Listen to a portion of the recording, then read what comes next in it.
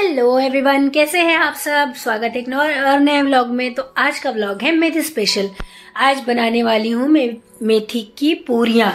पराठे तो बहुत खाए होंगे, लेकिन मेथी मेथी की पूरियाँ आपने शायद पहली बार देख रहे होंगे। तो ये है मेथी कट करके रख लिया है मैंने। पहले से धो के अच्छे से साफ़ करके कट करके और अदरक ले, प्याज, लहसुन, अदरक, मिर्ची, उसको चॉपर में चॉप करके बारीक और उसके बाद आटा लिया, उसमें मंगरेल, अजवाइन और जीरा और इसके बाद नमक डालकर उसको अच्छे से मिक्स करूँगी। अब उनमें मेथी डालकर,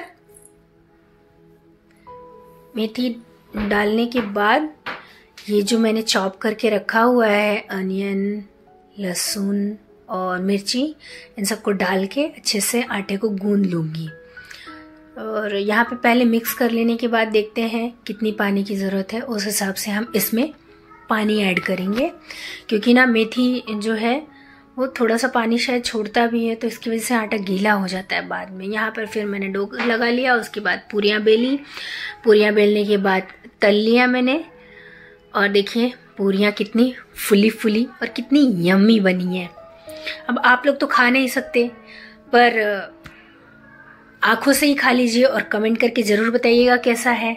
आँखों से खाने के बाद, ऐसे टेस्ट तो आप लोग कर नहीं सकते, लेकिन बहुत अच्छा था, मैं बता रही हूँ, एक बार ट्राई ज़रूर करना आप लोग अपने घर पर। तो कैसी लगी है वीडियो? एक लाइक और शेयर, और चैनल पे नए हैं तो सब्सक्राइब ज़रूर करके जाइएगा, ठीक है? मिलते हैं।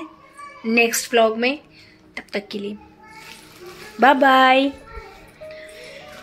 ये हो गई है मेरी सारी पूरियाँ। यहाँ पर दो ही पूरियाँ मैंने दिखाई, लेकिन तल ली है मैंने सारी, और ये है पूरियाँ, और यहाँ पे मैंने खा भी लिया, इतने बड़े मुँह के साथ चलिए बाय